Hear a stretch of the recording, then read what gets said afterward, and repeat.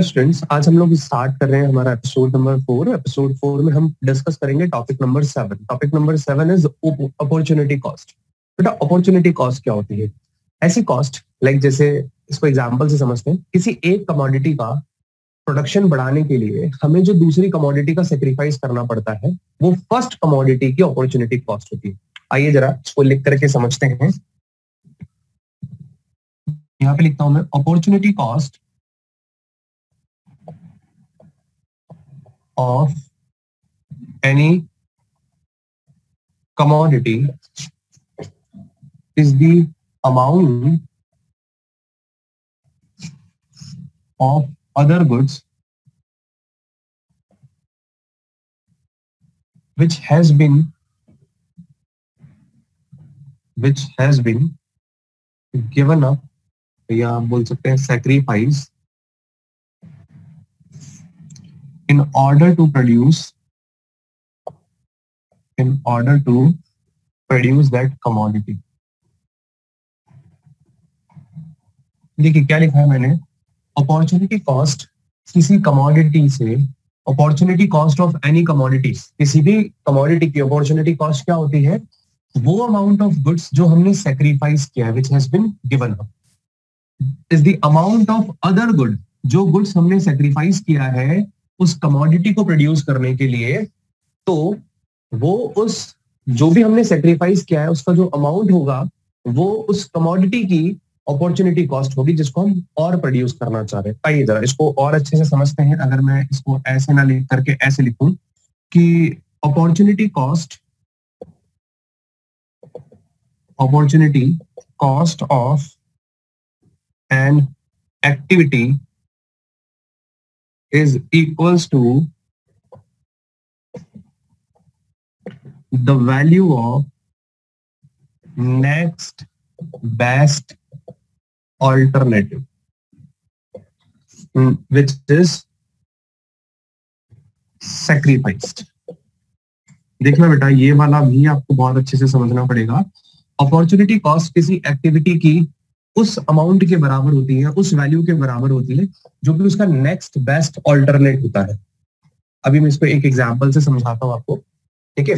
मैंने क्या बताया? अपॉर्चुनिटी कॉस्ट किसी एक्टिविटी की वो वैल्यू होती है जो हमने उसका नेक्स्ट बेस्ट ऑल्टरनेट सेक्रीफाइस किया है।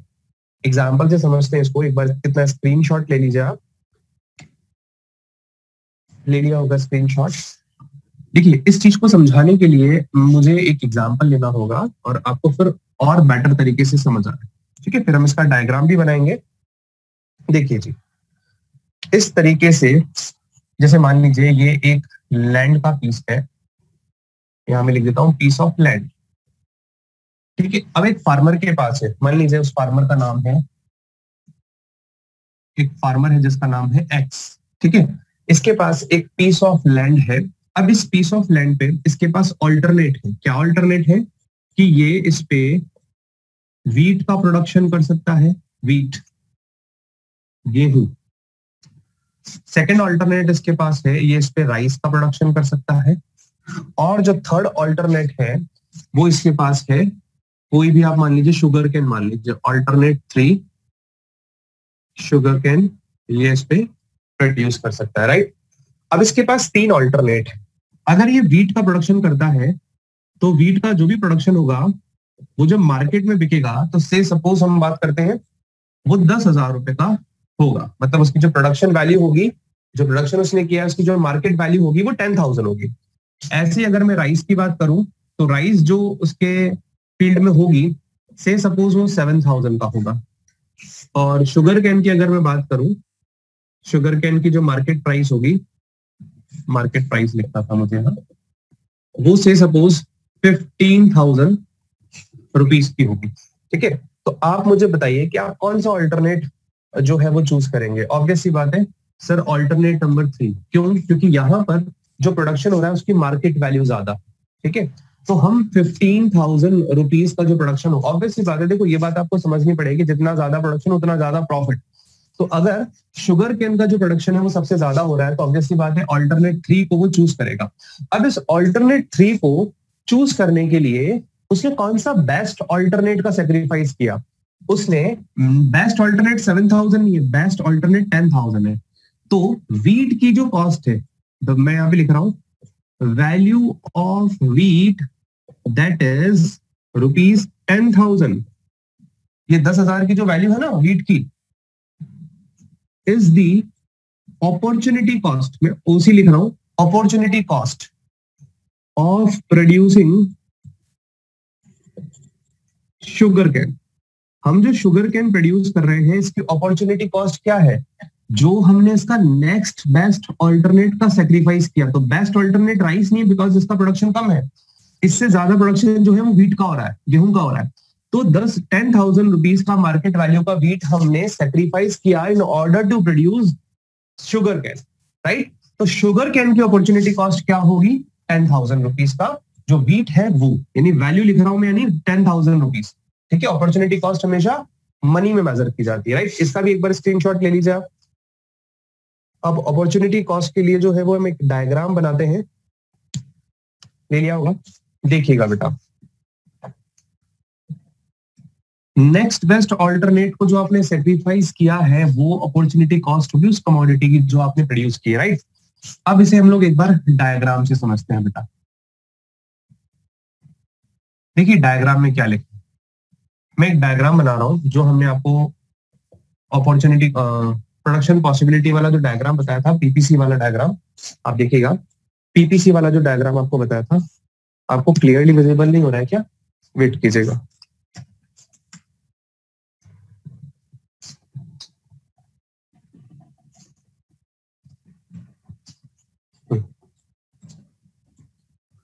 अब बेटा हम डायग्राम की बात करते हैं। डायग्राम जो है, वो इस तरीके से बनेगा? वाई और एक्स एक्सिस ये आपने जो प्रोडक्शन पॉसिबिलिटी कर्व का जो आपने डायग्राम देख रखा है, वही डायग्राम जो है वो मैं यूज़ कर रहा हूँ। यहाँ पे मैं नाम देता हूँ ए और बी एक्स एक्सिस पे कोई भी एक कमोडिटी मैं उस कमोडिटी का नाम लेता हूँ कमोडिटी एक्स हमने लिखा है, और यहाँ पर कमोडिटी वाई लिखा है राइट तो अब अगर मैं यहाँ पर एक एग्ज़ाम्पल लेख के तौर पे एक पॉइंट ले लू वाई वन देखिए वाई वन और इधर मैं ले लेता हूँ एक्स वन ठीक है? ये इधर वाई वन अब समझना, मैंने आपको क्या बोला? अपॉर्चुनिटी कॉस्ट क्या होती है बेटा? अगर किसी कमोडिटी का प्रोडक्शन आप बढ़ा रहे हो तो उस कमोडिटी के प्रोडक्शन के बढ़ने से जो उसका नेक्स्ट बेस्ट ऑल्टरनेट आपने सेक्रीफाइस किया, वो उस जो कमोडिटी का प्रोडक्शन आपने बढ़ाया, उसकी अपॉर्चुनिटी कॉस्ट है। तो इसको डायग्राम से समझने के लिए मैंने यहाँ वाई वन और x one this is the combination of two goods which we can produce with our available resources right तो अब अगर मुझे एक्स कमोडिटी का प्रोडक्शन बढ़ाना है we want to increase the production of commodity x from x one two से suppose x two से suppose x two मुझे यहाँ तक इसका प्रोडक्शन बढ़ाना है। तो ऑब्वियसली बात है, मुझे इसका सेक्रीफाइस करना पड़ेगा। जो कमोडिटी वाई है, उसका वाई वन से लेके वाई टू तक सेक्रीफाइस करना होगा तो मेरी कमोडिटी एक्स वन से एक्स टू तक जो है वो क्या बनेगा? प्रोडक्शन बढ़ जाएगा राइट तो इसी को मैं इस तरीके से लिखता हूँ, जरा समझिएगा। मैं यहाँ पे आपको समझाऊं तो मैं लिखता हूँ यहाँ पे first point opportunity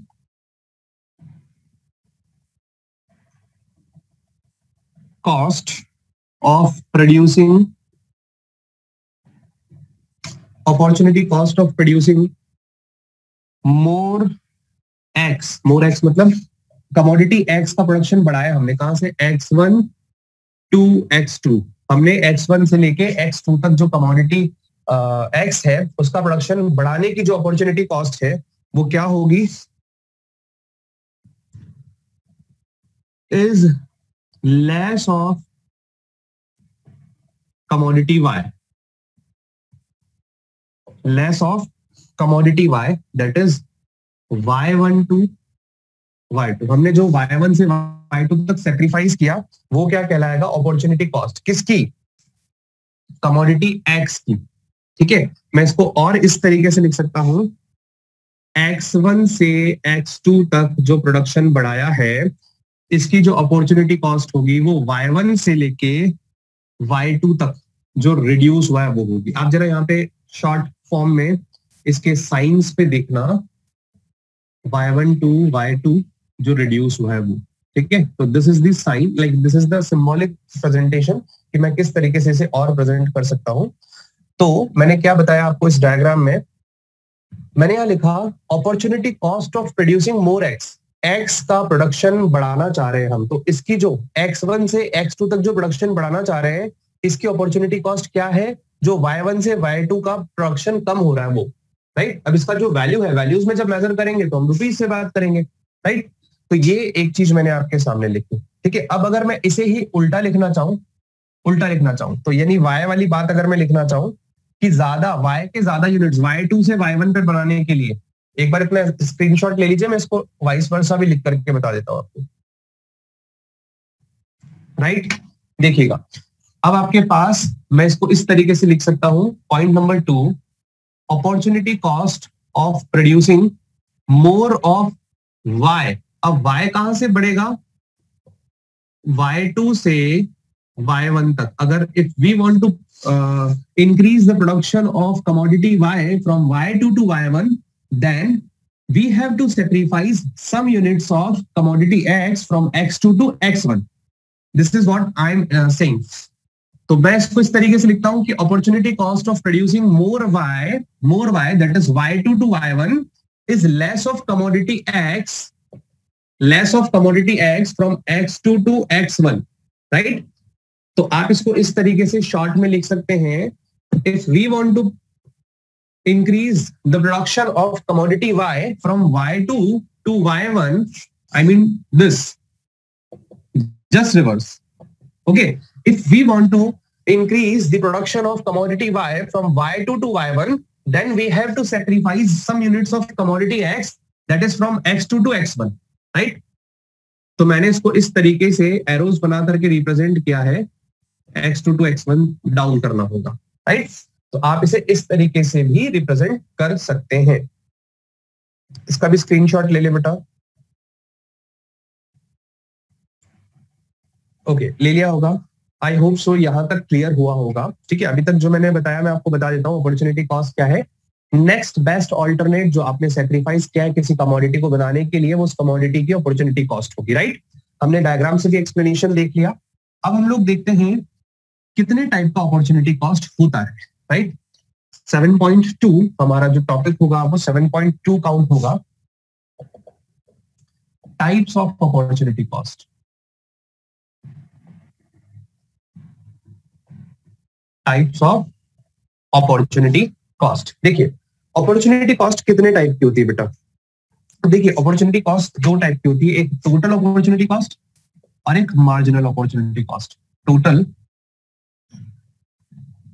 opportunity cost जिसे हम लोग टीओसी कहेंगे, और एक होता है मार्जिनल अपॉर्चुनिटी कॉस्ट देखिए, जो मैंने आपको अभी एक्सप्लेन किया था ना, वो ऑलरेडी टोटल अपॉर्चुनिटी कॉस्ट थी। ठीक है? एमओसी इसे हम लोग एमओसी कहते हैं राइट तो आप अपने पास फ़र्स्ट पहले टीओसी को हम लोग नोट कर रहे हैं। टीओसी क्या है? एक बार हम लोग लिख लेते हैं। Total opportunity cost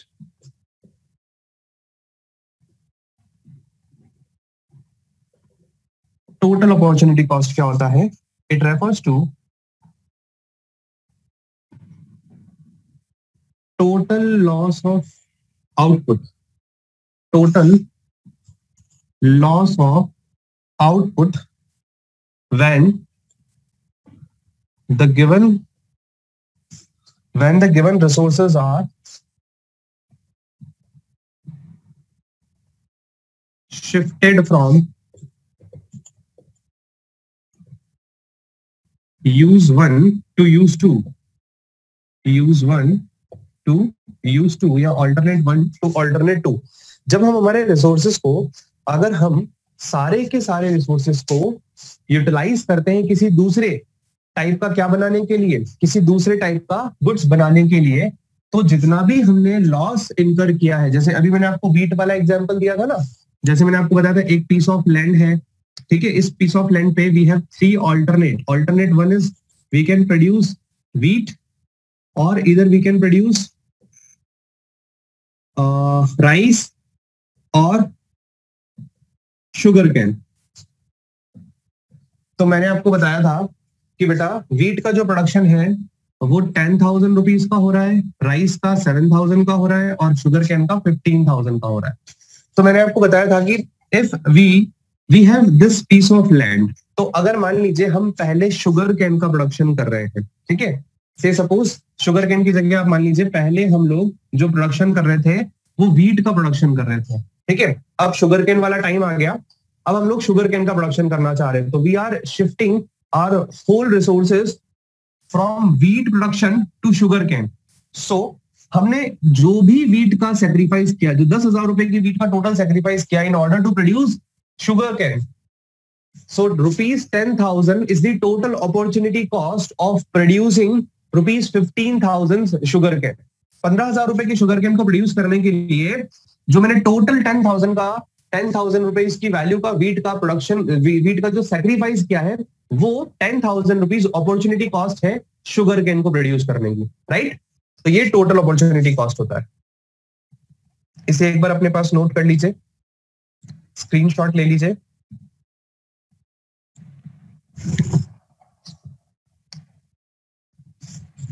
ले लिया होगा बेटा स्क्रीनशॉट चलिए, आगे चलते हैं। नेक्स्ट अब मैं बात करता हूँ मार्जिनल अपॉर्चुनिटी कॉस्ट की। देखिए मार्जिनल अपॉर्चुनिटी कॉस्ट क्या होता है? सिंपल से अगर टर्म्स में बात करूँ तो।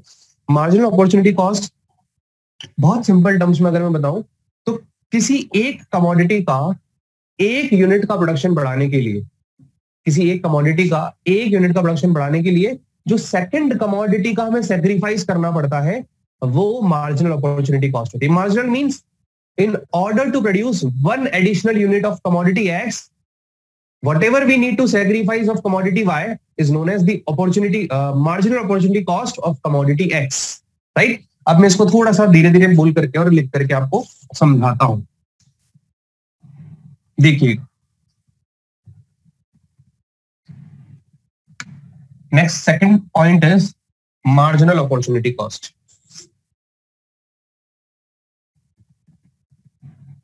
marginal opportunity cost जिसे मैं एमओसी कहता हूँ। क्या कहता हूँ? एमओसी राइट तो एमओसी क्या होता है? देखिए, ये कई बार पूछा जाता है भाई। इसे एमओसी भी बोलते हैं, इसे एमआरटी भी बोलते हैं। देखिए the rate the rate at which the units of output of one good से सपोज़ कमोडिटी एक्स की मैं बात कर रहा हूँ। One good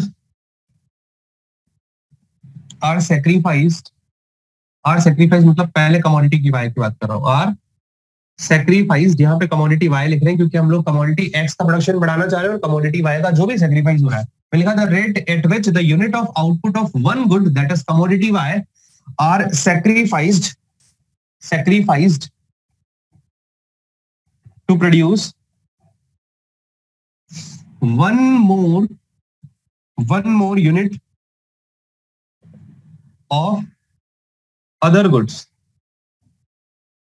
that is commodity x one more unit one more unit of other goods the rate at which मैंने यहाँ पे जो लिखा है फ़र्स्ट मीनिंग इसका, वो रेट जिसपे हम किसी एक कमोडिटी का सेक्रीफाइस करते हैं, दूसरी कमोडिटी का एक एडिशनल यूनिट प्रोड्यूस करने के लिए राइट यानी मैं कमोडिटी एक्स का एक यूनिट बढ़ाना चाह रहा हूँ तो मुझे कमोडिटी वाई का कितने यूनिट्स का सेक्रीफाइस करना पड़ेगा? उसकी जो वैल्यू होगी वो कहलाएगी marginal opportunity cost of one unit of commodity X यानी वो वन यूनिट में ही काउंट होता है। इसीलिए मैं ये कह सकता हूँ कि अगर कमोडिटी एक्स की मार्जिनल अपॉर्चुनिटी कॉस्ट मेरे पास रुपीज़ टेन गिवन है तो it means in order to produce one unit of commodity X, we need to sacrifice the other goods of rupees 10. यानी दूसरे गुड्स का हमें दस रुपए का सेक्रीफाइस करना पड़ेगा, तब मैं कमोडिटी एक्स का एक यूनिट प्रोड्यूस कर सकता हूँ right this is marginal opportunity cost मैं इसे एक और तरीके से आपके सामने प्रेजेंट करता हूँ। ये थोड़ा ज़्यादा इजी लगेगा। It is defined it is defined as the amount of good, amount of a good amount of a goods sacrifice sacrificed मैं ब्रैकेट में गुड्स वाई लिख देता हूँ ताकि आप लोगों को थोड़ा सा ध्यान रहे कि मैं गुड्स वाई को सेक्रीफाइस करने की बात कर रहा हूँ। For the production of for the production of one additional unit one additional unit of other good. That is goods x. Goods x. मैंने यहाँ पे लिखा मार्जिनल अपॉर्चुनिटी कॉस्ट को हम इस तरीके से डिफाइन कर सकते हैं कि हमें जितनी भी अमाउंट का गुड सेक्रीफाइस करना पड़ता है in order to produce one additional unit of another commodity यानी कमोडिटी एक्स का एक एक्स्ट्रा यूनिट प्रोड्यूस करने के लिए मुझे कमोडिटी वाई का जो सेक्रीफाइस करना पड़ रहा है, वो मार्जिनल अपॉर्चुनिटी कॉस्ट होगी कमोडिटी एक्स की राइट एक बार इसे भी लिख दीजिए।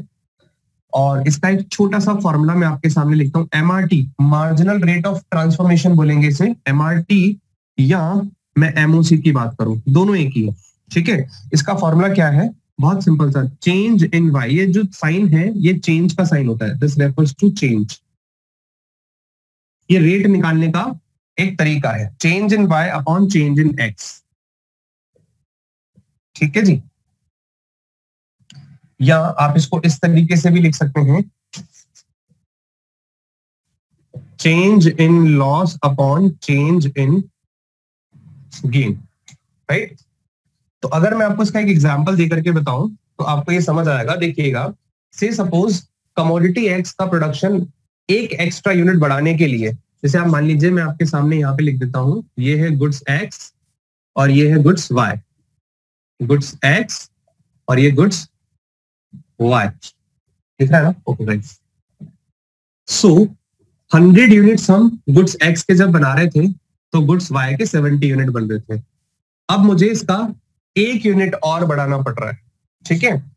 वन ज़ीरो वन मैं अगर करता हूँ तो मुझे इसके 65 यूनिट ही बनाने को मिलते हैं। मतलब इसका एक एक्स्ट्रा यूनिट बनाने के लिए मुझे फाइव जो है यूनिट्स का वायर गुड्स का सेक्रीफाइस करना होता है। अब अगर मैं इसे इस फॉर्मूले में रखूँ तो change in Y change in Y कितना है? Five upon change in X कितना है? वन तो एमओसी क्या है? फाइव एमओसी मतलब ये फाइव दिख रहा नहीं है आपको ना? यहाँ पे फाइव आएगा, मैं यहाँ पे लिख देता हूँ। Five upon one is equal to five ये फाइव क्या है? ये फाइव बताता है कि कमोडिटी एक्स का एक एक्स्ट्रा यूनिट बनाने के लिए आपको five unit of commodity Y sacrifice करना होगा राइट अब अगर मैं इसको वन ज़ीरो वन की जगह ऐसे लिख दूँ हंड्रेड एंड टेन कर दू इसे, ठीक है? सेम एग्ज़ाम्पल में हंड्रेड एंड टेन कर दूँ, तब हमारा क्या होगा? लॉस कितना हो रहा है? फाइव का डिवाइडेड बाय गेन कितना हो रहा है? टेन का तो आप ये कह सकते हो point five is the MOC point five is the MOC यानी कि मुझे एक यूनिट कमोडिटी एक्स का प्रोड्यूस करने के लिए पॉइंट फाइव यूनिट यानी half unit of commodity Y sacrifice करना होता है right this is called MOC और एमआरटी एमआरटी जो है, वो रेट को रिप्रेजेंट करता है। ये जो point five point three one two five जो भी आंसर आता है, वो रेट है राइट अब इसका एक बार मैं जो है डायग्राम बना करके आपको प्रेजेंट करता हूँ। इतना स्क्रीनशॉट ले लीजिए आप। ठीक है जी? एक बार इसका हम लोग डायग्राम बनाते हैं।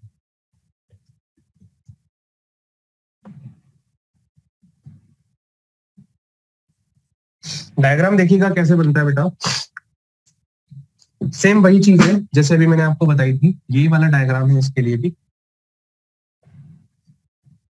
अब आपको यही सेम डायग्राम में इस तरीके से एक्सप्लेन करूँगा, जरा देखिएगा। अभी जो मैंने एग्ज़ाम्पल लिया, मैं चाहूँ तो वही एग्ज़ाम्पल ले सकता हूँ। ये कमोडिटी हमारी है एक्स और ये है कमोडिटी वाई कमोडिटी वाई ठीक है? अब आप चाहो तो मैं यहाँ पर आपको पॉइंट्स दे करके बता सकता हूँ। जैसे अभी मैंने आपके सामने लिखा था गुड्स एक्स गुड्स वाई ठीक है? तो यहाँ पे 100 यूनिट का प्रोडक्शन हो रहा था या 70 का हो रहा था? जैसे यहाँ 101 करना पड़ा इसका 65 यूनिट का प्रोडक्शन हुआ। सो so, मैं यहाँ पर आपके सामने एक चीज़ लिख रहा हूँ कि गुड्स एक्स का प्रोडक्शन 100 यूनिट हो रहा था। 100 यूनिट्स दैट टाइम पे गुड्स वाई का प्रोडक्शन 70 यूनिट हो रहा था राइट अब जब मुझे इसका प्रोडक्शन 101 तक बढ़ाना है तो मुझे इसके कितने यूनिट सेक्रीफाइस करने पड़ेंगे? इसके फाइव यूनिट सेक्रीफाइस करने पड़ेंगे। मतलब फाइव यूनिट्स का सेक्रीफाइस करना पड़ा गुड्स वाई का और in order to produce one unit of in order to produce one unit of goods X right तो ये ये जो आपके सामने आपको देखना मैं यहाँ पे बोल्ड करके दिखा रहा हूँ we have to sacrifice from 70 to 65 unit of commodity Y in order to produce one more unit of commodity X, right? This L, this L shows this opportunity cost. ये जो है ना, ये ये नीचे की तरफ़ आ रहा है है ना? ये बताता है कि ये जो नीचे डाउनवर्ड जो स्लोप है, वो ये बताता है in order to produce one unit of commodity X we need to sacrifice some unit of commodity Y right तो ये आपका कहलाएगा मार्जिनल अपॉर्चुनिटी कॉस्ट या एमआरटी का डायग्राम जल्दी से इसका भी स्क्रीनशॉट ले लें आप। ठीक है जी? ले लिया होगा आपने स्क्रीनशॉट देखिए जी। अब इसके बाद एक छोटी सी बात है एमओसी कितने टाइप का होता है? मार्जिनल अपॉर्चुनिटी कॉस्ट कितने टाइप की होती है? तो बेटा मार्जिनल अपॉर्चुनिटी कॉस्ट जो होती है, वो तीन टाइप की होती है। आई।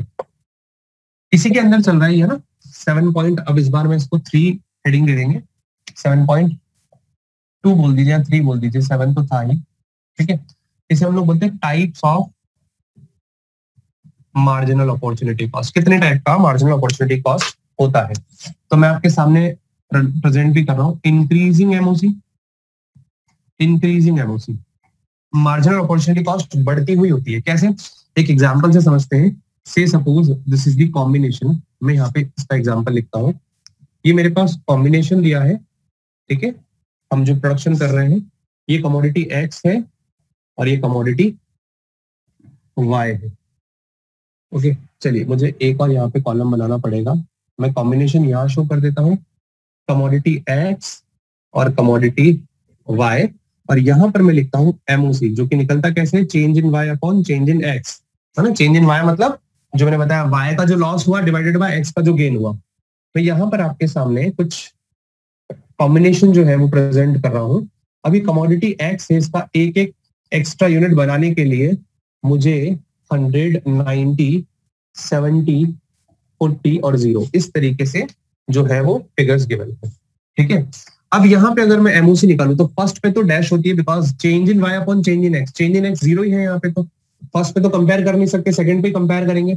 अब change in Y change in Y मतलब कितने यूनिट्स का सेक्रीफाइस करना पड़ा? टेन तो ten divided by commodity X का कितना एक्स्ट्रा यूनिट बना? वन तो ये आ गया टेन राइट अब वापस नेक्स्ट इस पे, कितने यूनिट्स का सेक्रीफाइस करना पड़ा? ट्वेंटी ट्वेंटी डिवाइडेड बाय आपके कितने यूनिट्स ज़्यादा बने? एक्स के वन तो ये ट्वेंटी ऐसे ही नेक्स्ट सेवेंटी से फोर्टी का सेक्रीफाइस करना पड़ा थर्टी यूनिट्स का, और एक्स कमोडिटी का कितना एक्स्ट्रा यूनिट बना? वन तो ये थर्टी राइट और ये फोर्टी से ज़ीरो मतलब फोर्टी यूनिट्स का सेक्रीफाइस करना पड़ा कमोडिटी वाई का, और कितना प्रोडक्शन हुआ? एक्स का वन तो ये आ गया फोर्टी तो यहाँ पे आप देखोगे, ये जो टेन ट्वेंटी थर्टी फोर्टी ये रिप्रेजेंट जो कर रहा है, वो बता रहा है एमओसी जो है वो बढ़ते हुए क्रम में है। इंक्रीजिंग एमओसी है यहाँ पे, ठीक है?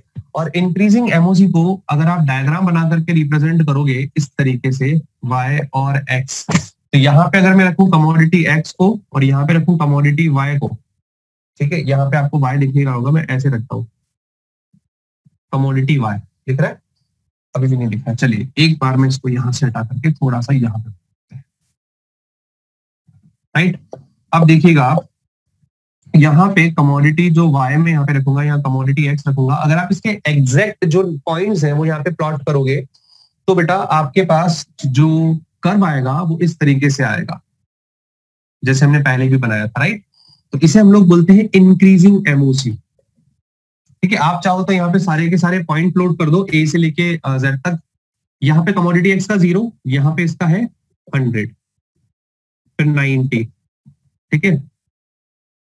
पर यहाँ से हम लोग लेकर के आते हैं। इस पर ट्वेंटी ट्वेंटी का गैप ले लेते हैं।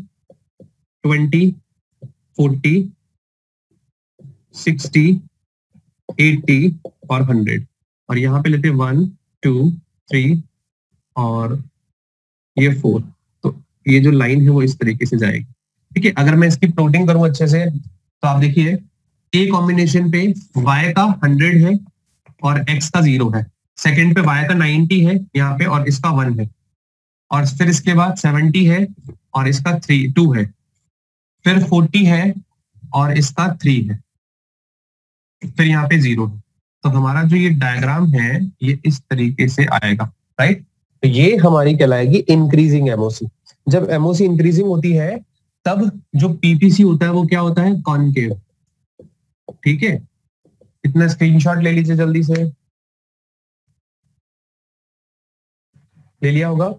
अब मैं बात करूँ अगर डिक्रीजिंग एमओसी की। बता डिक्रीजिंग एमओसी क्या है? अगर मार्जिनल अपॉर्चुनिटी कॉस्ट डिक्रीज होती हुई हो, कैसे डिक्रीज होती हुई होगी? मुझे यहीं पे थोड़ा सा चेंजेस करना होगा। मतलब जो मैं स्केड्यूल बनाऊँगा इसमें थोड़ा सा चेंजेस करूँगा। कमोडिटी एक्स में कोई चेंज नहीं होगा। कमोडिटी एक्स जो है वो वही रहेगा। और कमोडिटी वाई का जो प्रोडक्शन है, वो मैं इस तरीके से चेंज करूँगा। हंड्रेड से सिक्सटी सिक्सटी से थर्टी थर्टी से टेन नहीं नहीं, ये तो कांस्टेंट हो जाएगी ना। ये तो कांस्टेंट हो जाएगी। वेट डिक्रीजिंग के लिए मुझे क्या करना होगा? एमओसी को डिक्रीज करता हुआ बनाना है। हाँ ये डिक्रीजिंग ये हंड्रेड सिक्सटी फोर्टी का गैप, थर्टी का गैप, ट्वेंटी का गैप, ठीक है, और ये ज़ीरो, देखिएगा। अब अगर मैं यहाँ पर ये एमओसी का वैल्यू निकालू तो एमओसी का वैल्यू बेटा कितना आएगा?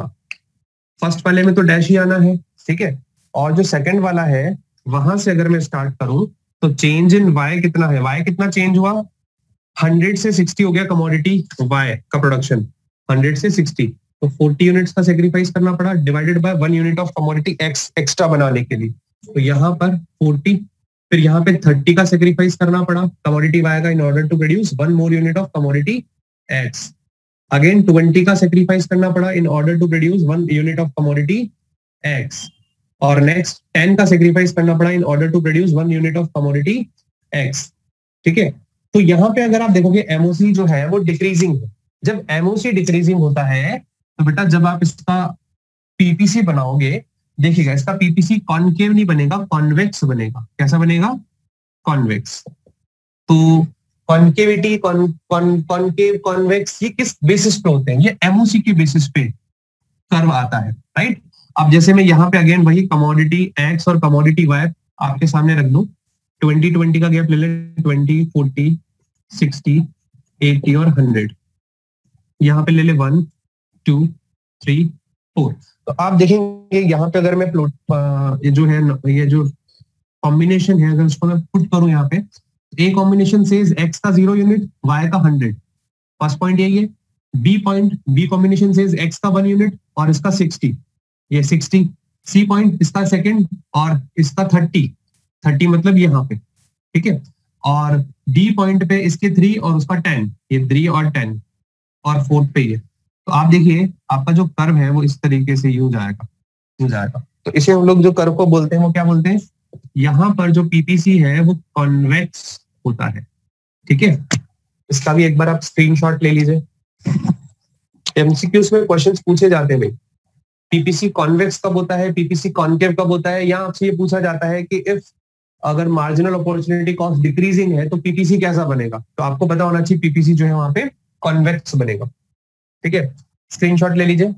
लास्ट जो ये सेकंड वाला पॉइंट है ना डिक्रीजिंग एमओसी अब इसके बाद जो थर्ड पॉइंट होता है इसका, वो होता है कांस्टेंट एमओसी कांस्टेंट मतलब यहाँ पर आपका जो एमओसी है, वो सेम रेट से चेंज होगा।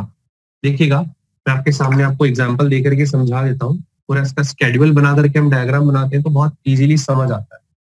राइट देखिए, यहाँ पर अगर मैं ऐसे बोलूँ, पहले हंड्रेड यूनिट था, फिर एट्टी फिर सिक्सटी फिर फोर्टी फिर ट्वेंटी फिर ज़ीरो भी हो गया। यहाँ पे मैंने पाँच यूनिट ले लिए A B C D E और एफ़ और ले लिया।